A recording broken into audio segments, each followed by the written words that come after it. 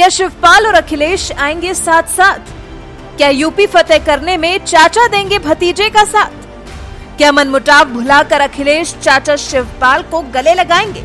सवाल कई हैं और जोरों पर भी हैं। क्योंकि 2022 में चुनाव भले ही देश के पाँच राज्यों में होने हैं, लेकिन चर्चा सिर्फ़ उत्तर प्रदेश की सबसे ज़्यादा है। और उसमें भी अखिलेश की समाजवादी पार्टी की वजह है खुद अखिलेश यादव। उनका कामकाज, योगी को घेरने का उनका तेज तरार तरीका और मुद्दा अब चाचा से वापस हाथ मिलाने का भी तो है। चाचा शिवपाल भतीजे के साथ जाने के लिए उत्साहित है।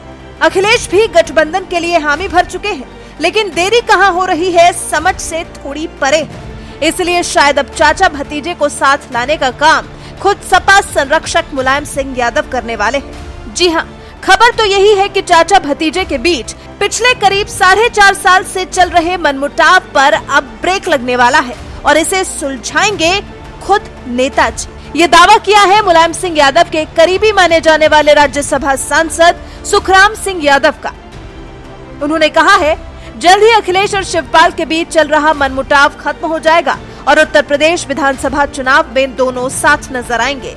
शिवपाल बहुत सहनशील व्यक्ति हैं। शिवपाल और अखिलेश दोनों चाचा भतीजे हैं और भावनात्मक रूप से मुलायम सिंह यादव से जुड़ाव रखते हैं और बहुत शीघ्र मुलायम सिंह यादव इस मामले में बीच में आएँगे और दोनों की बात कराएँगे और उम्मीद है कि दोनों के साथ आने का निर्णय होगा। कहीं न कहीं समाजवादी नेताओं की भी यही इच्छा है कि पूरी समाजवादी पार्टी फिर से साथ आ जाए। सुखाराम ने कहा शिवपाल यादव और अखिलेश यादव के अलग अलग लड़ने का नुकसान समाजवादी पार्टी को होगा। उम्मीद है कि चुनाव से पहले दोनों एक साथ हो जाएँगे। शिवपाल वैसे भी कई मौकों पर समाजवादी पार्टी के साथ जाने की इच्छा जता चुके हैं, लेकिन बदले में सिर्फ़ अपना और अपने समर्थकों का सम्मान चाहते हैं। समाजवादी पार्टी से सिर्फ़ सम्मान मिलेगा तो चाचा शिवपाल सपा के साथ जाने में बिल्कुल भी देरी नहीं करेंगे। समाजवादी पार्टी ने लगातार प्रयास किया है, कोशिश की है कि क्षेत्रीय दल और जो छोटे दल हैं, उनको साथ लिया जाए। और उसमें कई दल समाजवादी पार्टी के साथ आए हैं। हाल में ही ओम प्रकाश राजभर जी ने एक ऐतिहासिक और बड़ा कार्यक्रम मऊ में कर करके पार्टी के साथ जुड़े हैं। समाजवादी पार्टी की कोशिश होगी कि जितने भी दल हैं, जो क्षेत्रीय दल हैं, उनको जोड़ा जाए। और स्वाभाविक है कि चाचा का भी एक दल है। उस दल को भी साथ लाने का काम करेंगे। पूरा सम्मान उनका होगा और ज़्यादा से ज़्यादा सम्मान करने का काम समाजवादी लोग करेंगे, ये आपको मैं भरोसा दिलाता हूँ।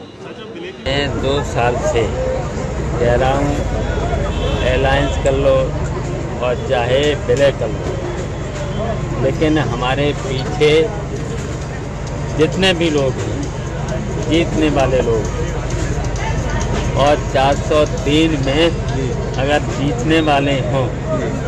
और हमारा जितना भी हक हो। हैं? या तो जनता तय कर दे, या नेताजी तय कर दें, हम मान और अब तो भतीजे अखिलेश भी चाचा के सम्मान का आश्वासन दे चुके हैं।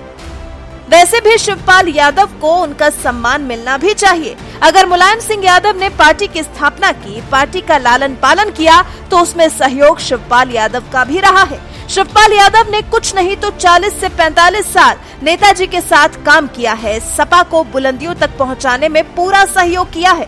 लेकिन 2017 में समाजवादी पार्टी में छिड़ी आपसी रार ने सब कुछ तहस नहस कर दिया था। अखिलेश यादव सपा के प्रमुख बन गए थे और शिवपाल यादव को प्रदेश अध्यक्ष के पद से हटा दिया गया था। उनकी जगह नरेश उत्तम को इस अहम पद की ज़िम्मेदारी सौंपी गई थी। लेकिन अब साढ़े चार साल की दूरियों के बाद लगता है मुलायम सिंह यादव खुद भाई और बेटे को साथ लाने में आगे आएँगे और समाजवादी पार्टी फिर एक बार संगठित होकर इस चुनाव में उतरेगी और विरोधियों को अपना दमखम दिखाएगी। वैसे आपको क्या लगता है, क्या प्रसपा का सपा से जुड़ जाना सही फैसला होगा? आप क्या चाहते हैं कि आप भी चाचा भतीजे को 2022 के चुनाव में साथ साथ देखना चाहते हैं? अपनी राय हमें कमेंट कर। ज़रूर बताएँ।